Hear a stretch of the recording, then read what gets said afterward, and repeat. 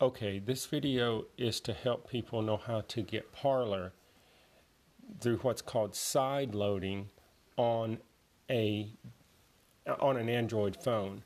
So since Google has removed Parler from the Play Store, you can still side load it from the Parler website.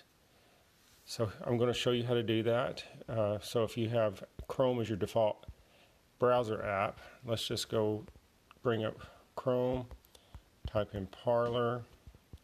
And as you see here, I, got Parler app. You want to go to the, not to, this uh, Google Play Store, Parler app will not work. So you have to go to the Parler website. So let me find the Parler website here. Let me just see if I can retype that. So Parler, and then let's just search for Parler, And there it is. We want to type in see Parler here. Now, notice what it's asking me to do. It's asking me do I want to use the Parler app, get the Parler app from the uh, from Android, or open this in the Parler app. And what it would do if I tried, if I tapped on this first one here, uh, Android app Parler, it would take me to the Play Store and try to download it, and you can't do that. It won't. It won't work. So you have to tap on the bottom one, continue using site, and don't show again. And you tap on the little world there.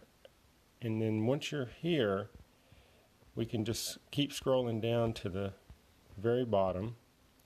And notice what it says at the very bottom download today. And you've got the Apple symbol and the Android symbol. You want to tap on the Android symbol. And notice a file will be downloaded. This type of file can harm your device do you want to keep Parler release.apk anyway? And you want to say OK, because now normally apps are downloaded and installed through the Play Store, and that's really the safest way to do it. And this is the same app that you would get through the Play Store, but of course it's being blocked. And so Parler's just offering it through their website as well. So you want to tap on OK. And once it's downloaded, you just tap on Open. Now it says for your security, your phone is not allowed to install unknown apps from this source. So you want to tap on settings and you want to allow from this source, which you allow from Chrome. Now, once you do that, you come back over. Do you want to install this application? You want to install. So you're getting the same exact app you would get on the Play Store, but you're just getting it from from the Parler website directly. This is called side loading, and it's one of the wonderful features about an Android phone that make it so good still.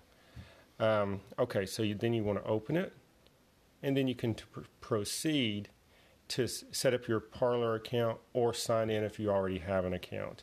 I hope this has been helpful. Um, text me or, or excuse me, message me with any questions you may have.